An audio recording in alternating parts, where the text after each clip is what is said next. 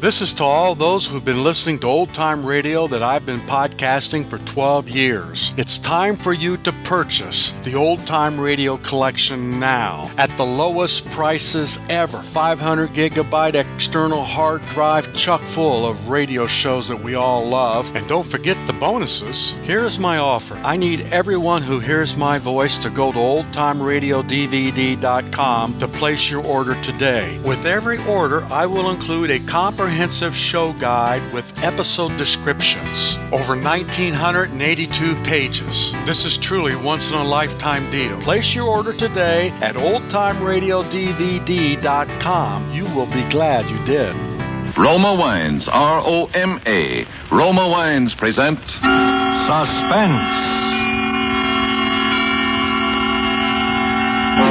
Tonight, Roma Wines bring you Mr. Robert Mitchum in Death at Live Oak.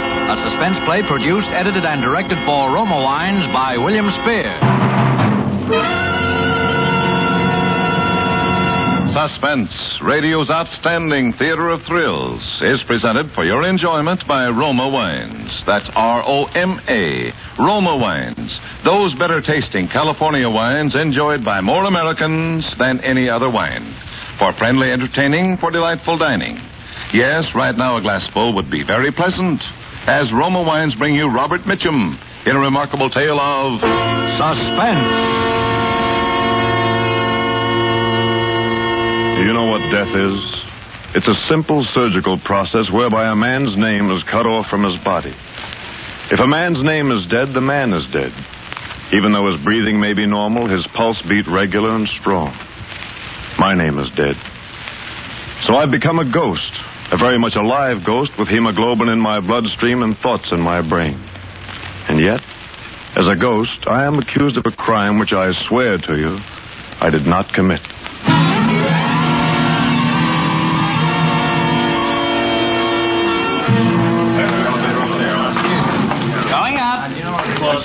Name your floors, please.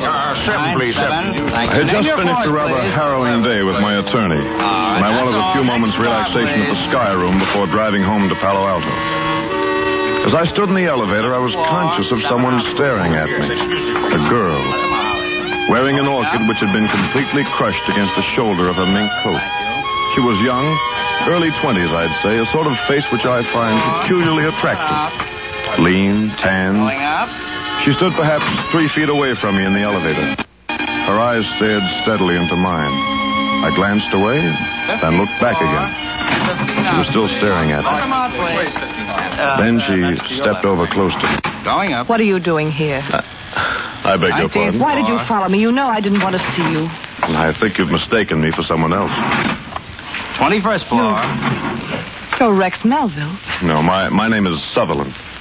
Oh, oh, I'm so sorry. You look exactly like. Oh, please forgive me. Uh, this is uh, your floor, ma'am. Oh, thank you. Uh, good night, Mr. Sutherland. Good night. Sky room, sir? Uh, yeah, yes, the Sky Room. Thank you, sir.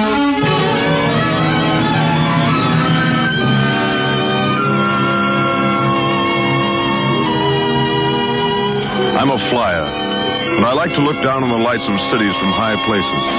Usually it makes me feel important and warm inside, but not on this night. I found myself looking down, computing how many miles an hour a human body would be falling by the time it hit the sidewalk. Then I noticed leaning over the parapet, a few feet away from me, the girl from the elevator. Good evening. Oh, oh good, good evening. It, it looks as if I am following you. Uh, it doesn't seem possible. What, the resemblance?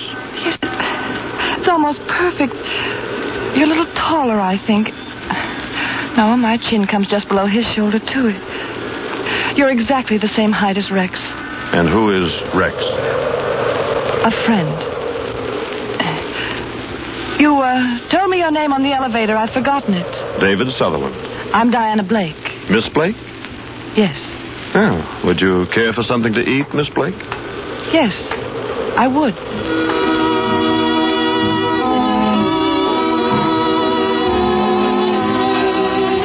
We had a rare bit, I think, and we talked about the customary subjects with the expected flippancy. She was beautiful by every standard except the Flemish. There was a thrilling compactness about her. My mind floated through all sorts of conjectures. But Miss Blake bolted me back to reality. I lied to you. What? My name isn't Diana Blake. It's Mrs. Melville. Rex is not a friend. He's my husband. Oh, somewhat more than a friend. In this case, somewhat less. It's so incredible. So utterly incredible to sit across the table from someone who looks exactly like my husband and, and have a good time. Oh, uh, better leave. He might find us here. Of course. Philip? Yes, Monsieur Sutherland. Check, please. May I see you home? Oh, it's not necessary. I have a suite here in the hotel. Here is the check, sir. I'll sign it. May I borrow your pencil, Philip? Uh, I'm deeply sorry, Monsieur Sutherland. What? I've been asked to tell you that. Now, look, I've been signing checks at the Sky Room for five years. Yes, Monsieur, but the accounting Please, department. don't they hate said- me if I pay it. Oh, no, I couldn't possibly You allow... will find, David, that I am a woman of extremes. I've either a great deal or nothing. Right now, the only thing I have a great deal of is money. Philippe, Thank you, madame. don't be angry, please. It's a small price for saving my life. Saving you? When you spoke to me out there on the parapet, I was getting ready to commit suicide.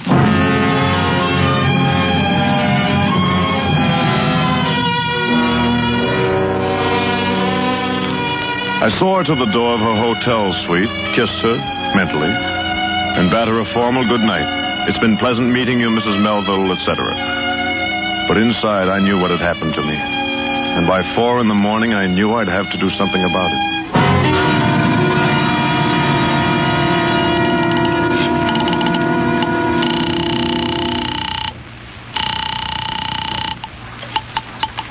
Market 500. I'd like to speak with Mrs. Melville. One moment, please. I'm sorry, sir. There is no Mrs. Melville registered here. Oh, uh, oh, operator, how about a Miss Blake? Diana Blake? I'm ringing Miss Blake's apartment. Thank you.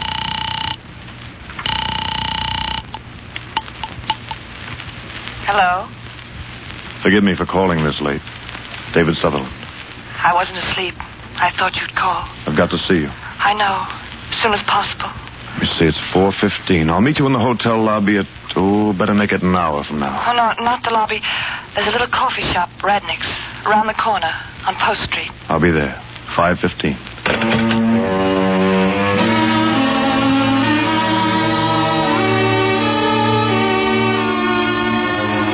It was just growing light as I drove up the bay shore. Practically no traffic. I got to Radnick's in about, oh, 40 minutes. She was there waiting for me. We ordered coffee. Anything else? Eggs, toast? No, I'm not hungry. Do you know what I want to talk with you about? I think I know. There are a few things we have to get clear. Are you married? Yes, The hotel has you registered as Miss Blake. I've been separated from Rex for three years. I met him in Buenos Aires. We were married. Didn't work, so I left him. No divorce? I hate scandal. Nobody knew I'd been married. It was foolish, but I came back here and became Diana Blake again. And he dropped out of your life. Until last week. Just showed up out of nowhere. Seems he suddenly needs money, and a wealthy wife's a handy thing to have. Can't you buy him off? It doesn't stop there. He, uh, he wants to live with me. I can't stand being in the same room with him. And he looks exactly like me. That's why I married him. He's very attractive. His appearance. But he's he's not a human being. He- And you'd rather kill yourself than live with him. yes, Now listen to me. Raise your head. Listen to me. yes. I'd rather die than go through what I have to do this week. You know the firm of Sutherland and Sons? The importers. I used to have a third interest in the company. But there have been some cagey stock manipulations by my dear cousins. I wound up with a safe deposit box full of waste paper. I may have to go through bankruptcy. Oh, I'm sorry. Now, look. We've both considered suicide. That's no good. But what would happen if we both became. Husband and wife. Yes. What will happen to Rex? Rex is going to become the late David Sutherland. Oh, no. Now, look, I've thought it all out. I have some property up in the High Sierra, a summer house called Live Oak. The only way to get there is by air. The place has been advertised for sale. Now, suppose you told Rex you were interested in buying Live Oak. Could you ask him to fly up with me in my plane? Well, he likes to fly, but eh, he might be suspicious. You, make, you can make it sound logical. Tell him you want to try to make a go of your marriage. Live Oak seems to be an ideal place for a second honeymoon. Yes, I'll try. Does he have any friends in San Francisco? None that I know of. He's lived in Argentina for years. Oh, one thing, his voice. It's a, a little higher pitched than yours, and he speaks more precisely. I can get by. What accounts does he have here? Bank He- accounts. Doesn't have any. Using traveler's checks and the money I've had to give him. Will he stay with you tonight? If I let him. Good. That'll give me a chance to go through his hotel room. Where's he staying? The Park Row. Room? I don't. Re- oh, oh yes, uh, five eighteen. 518. Now, tonight, Diana, you tell him about Live Oak. Say I'm a real estate broker and make some remark about the resemblance. All right. Tell him that tomorrow night is the only time I can fly him up to the summer house. I'll meet him at the Palo Alto airport at 9 o'clock. In the evening. The air is uh, smoother at night. Can you land at Live Oak after dark? No, Diana. But Mr. Melville will never land anywhere alive.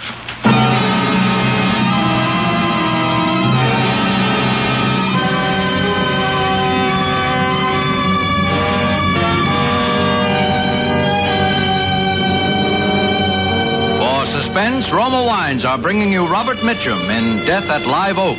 Roma Wines' presentation tonight in radio's outstanding theater of thrills, Suspense.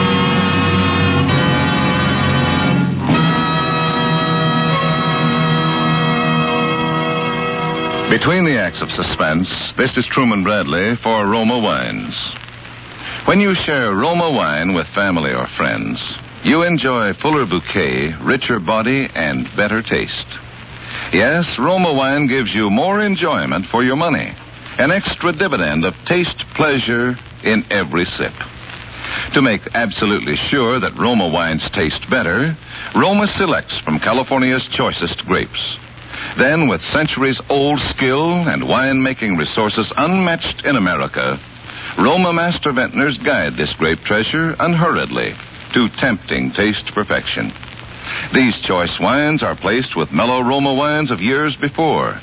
And from these reserves, the world's greatest reserves of fine wines, Roma later selects for your pleasure. Tomorrow night with dinner, enjoy the superiority, the better taste of Roma California Burgundy or Sauterne. Discover for yourself why more Americans enjoy Roma than any other wine. That's R O M A, Roma. Your best buy in good taste. And now, Roma Wines bring back to our Hollywood soundstage Robert Mitchum as David Sutherland, with Mary Jane Croft as Diana Blake in Death at Live Oak, a tale well calculated to keep you in suspense.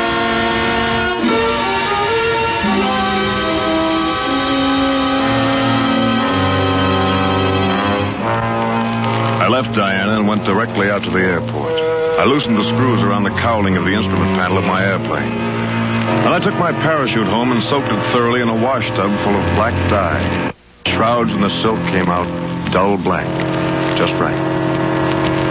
As it began to grow dark, I felt a tremendous desire to be with Diana, at least to talk with her. I realized how much she was coming to mean to me. But I stifled my urge to call her.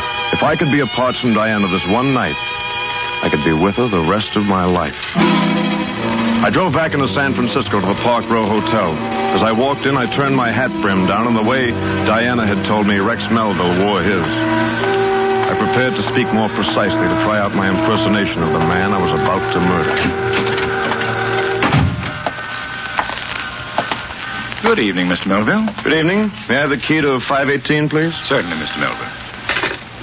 You weren't gone very long, sir? No, not long. Is there any mail in my box? Well, I, I just gave you your mail, sir, when you went out. Oh, of course. I'd forgotten. Thank you.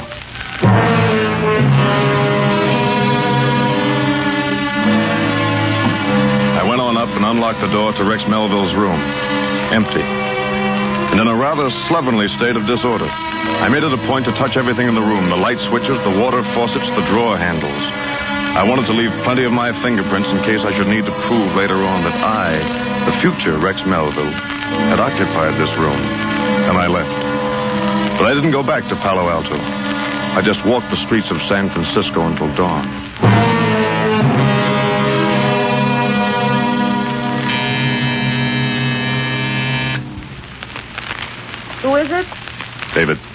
Just a moment. oh, Diane. Oh, David. I thought the morning would never come. Rex just left a few seconds ago. I know. I've been watching for him outside. He didn't see you. No. How is it? About tonight? We're all set. It wasn't easy, but I convinced him. He'll meet you at the Palo Alto airport at nine. Perfect. I took his billfold out of his coat pocket. Here. His signature's on the traveler's check. Good. This is just what I needed. Oh, David.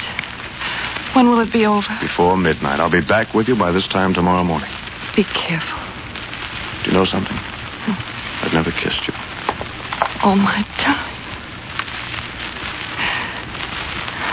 Forgive me. I didn't blot my lipstick. Who could that be? Rex. Hide the billfold. Yes? Who is it? Let me in, will you? I forgot something. Just a moment. I left my wallet. Well, hello. This uh, is the real estate man I told you about. My name is Sutherland. You're right, honey. He's a dead ringer for me. Yes, he... I understand we're taking a little trip tonight. Yeah, say, say you make your business calls pretty early in the morning, don't you, Mr. Sutherland? He uh, stopped in to find out about tonight. I was just leaving. Good. Now, what about the wallet, honey? It's not here. You sure? If I find it, I'll call you. All right. Say, why don't we ride down in the elevator together, Mr. Sutherland? You can tell me something about this place at Live Oak. Oh, but Rex, I- I'll be glad to. Goodbye, Miss, um, Mrs. Melville. I'll see you later, honey. goodbye.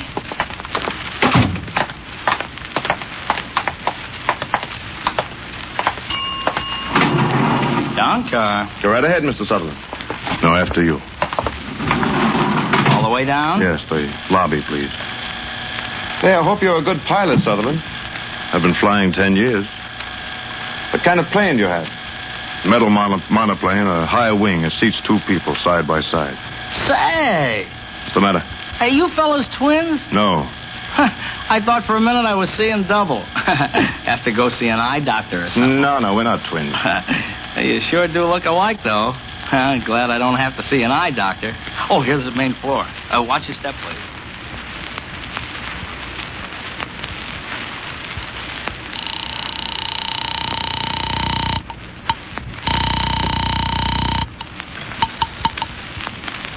Hello? Hello, Diana. Yes. Listen, we're in bad trouble. What's wrong? The elevator boy. He noticed how much we look alike. Which car was it? The the end elevator, the one nearest your door. I can take care of it, David. Don't worry.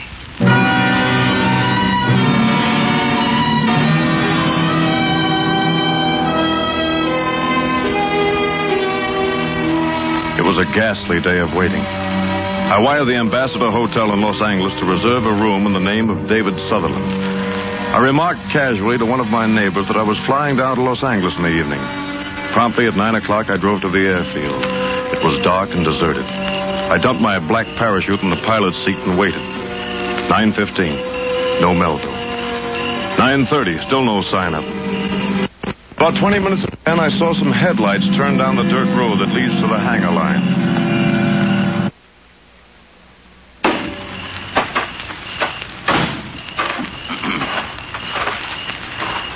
Is that you, Sutherland? I've been waiting for you. Well, I'm sorry to be late. I was I was delayed in town. All set to go? All set.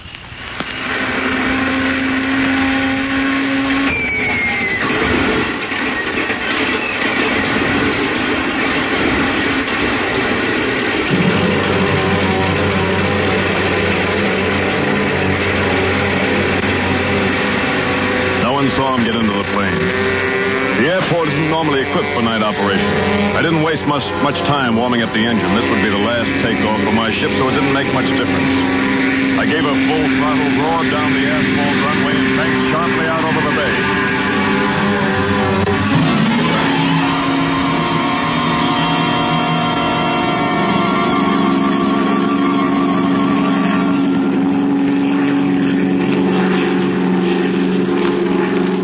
Sort of pretty up here.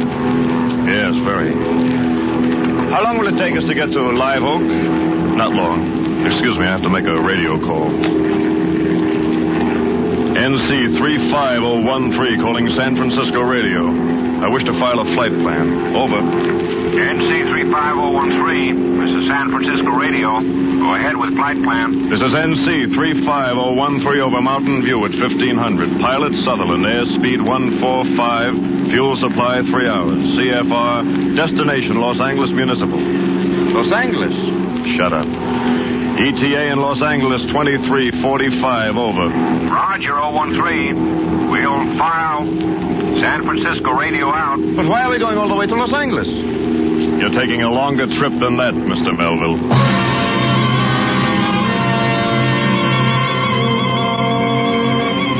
I grasped the loose cowling from my instrument panel and swung it squarely against his head.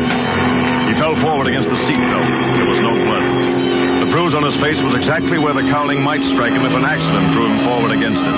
Quickly, I screwed the cowling back in place, and then I set about exchanging clothes with my unconscious passenger. It was difficult in the cramped ca- cabin, and I had to watch my flight control. I propped Melville into the pilot's seat and buckled his safety belt. Then I strapped on my own parachute and trimmed the ship nose down. It started to pick up speed in a steep dive, I shoved open the cabin door and leaped.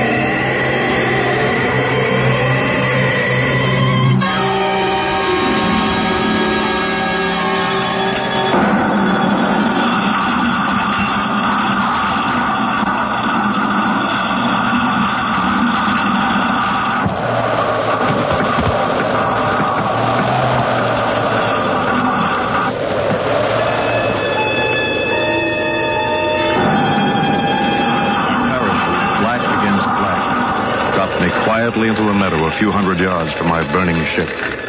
The wreckage was complete. I pulled in the chute, wadded it up, and tossed it onto my funeral pyre. Sleep well, Mr. David Sutherland.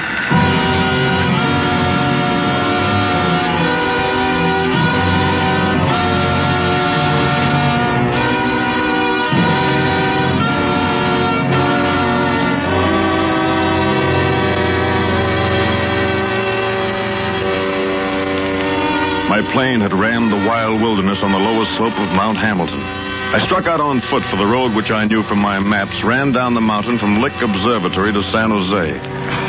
As I walked along in the moonless night, I felt free. For the first time in many months, no more debts, no more threats of bankruptcy, no more scavenging attorneys. From San Jose, I took the bus back to Palo Alto, keeping as inconspicuous as possible. At the airport, I got into Rex Melville's car. No, it was my car. I was Rex Melville now. It was just getting light as I drove up Bayshore Boulevard. I went into a pay phone booth to call her and tell her everything was all right.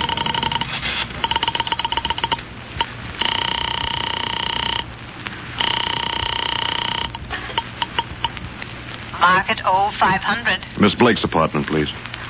Miss Blake? Diana Blake. One moment, sir. I'm ringing Miss Blake's apartment. Hello. Hello?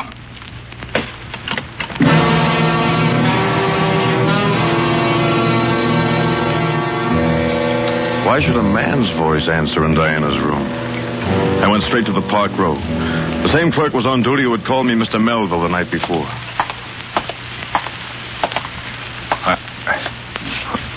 good morning, sir. Good morning. The key to 518, please. Yes. Yes, Mr. Melville.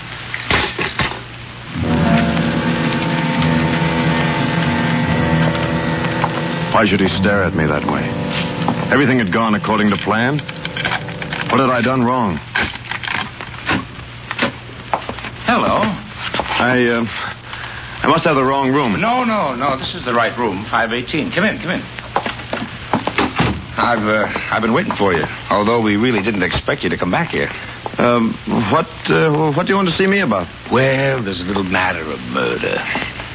You you must have the wrong person. My name is Melville. Rex Melville. Yes.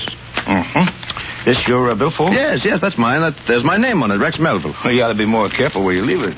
Why, where did you find this wallet? Now we want to get a few things straight. Harry, find the elevator boy and have him come in. Right. Now, about this Miss Blake. What was your relationship with her? Girlfriend? No, she she was my wife. Oh? We were married in Argentina three years ago. Well, Mr. Melville, if this woman was your wife, why did she use the name of Miss Blake? We'd, uh, well, we'd been separated. Oh, I see. Uh, did you want to see me, sir? Uh, yeah, yes. I want you to take a good look at this gentleman and tell me if he's ever ridden on your elevator. Yeah, I took him down last night from the 21st floor. He was in an awful hurry and sort of nervous. It was just before 9 o'clock. I remember because I called go off duty at 9. No, no, no. It was someone else. I was in Palo Alto at 9 last night. Uh, what is this, anyway? Look at him very carefully, son. You're sure this is the man you took down from the 21st floor? He's even wearing the same suit. I demand to know what right you Don't to you question- remember, Melville? Last night, sometime between 8.15 and 5 minutes of 9, you murdered Diana Blake.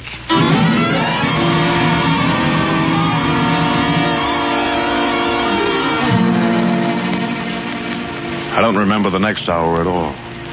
But I heard myself saying, There's another man. He looks exactly like me. He must have killed him. Oh, a sort of Mr. Hyde character? No, no, another person. Elevator boy, you saw us together in your car yesterday morning. I I don't remember. Now think, think. You asked if we were twins, and you, you said something about going to an eye doctor, remember? No, I don't remember. He's lying. He's lying. Diana bribed him not to tell. Why should she have bribed him? Because. Because I'm not Rex Melville.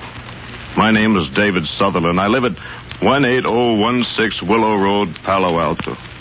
I didn't kill her, I tell you. I loved her. David Sutherland was killed last night in an airplane crash on Mount Hamilton. No, it was Melville who died. Sutherland radioed a flight plan at 9.55 for Los Angeles. He had a reservation at the Los Angeles Hotel for last night. He never got there. I'm Sutherland. I jumped in a black parachute. Melville, the murderer, he's the one who died. Why are your fingerprints on every doorknob and every water faucet of Rex Melville's room in the hotel here? I didn't kill Diana Blake. I loved her. You've been separated from her for three years. You're the murderer. I'm a murderer, yes. I killed Rex Melville. But not Diana. I didn't kill Diana.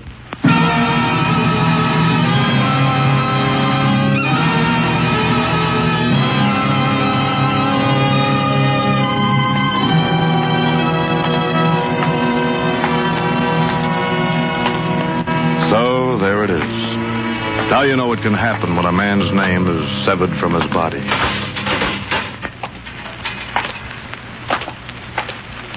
And in a few more moments, I shall know what happens when a man's body is severed from his soul.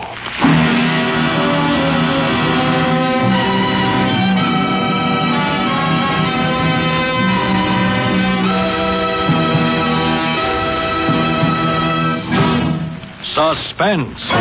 Presented by Roma Wines, R O M A. Roma, America's favorite wines.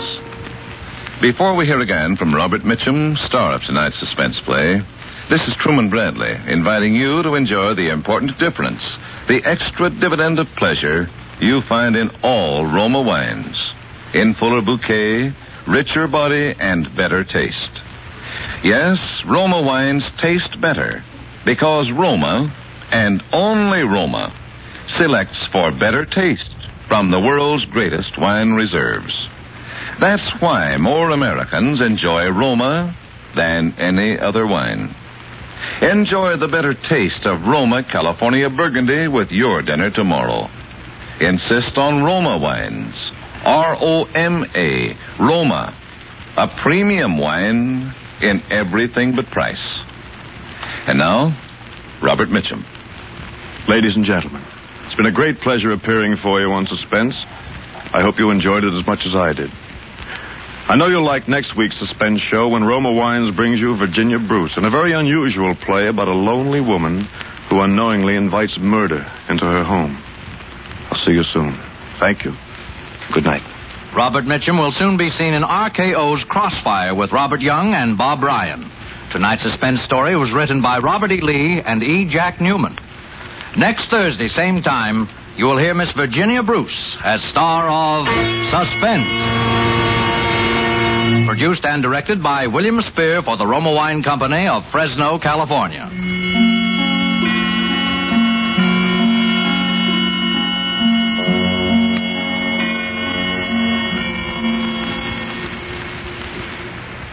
For the finest in sherries, remember this name C R E S T A B L A N C A. Cresta Blanca. Cresta Blanca.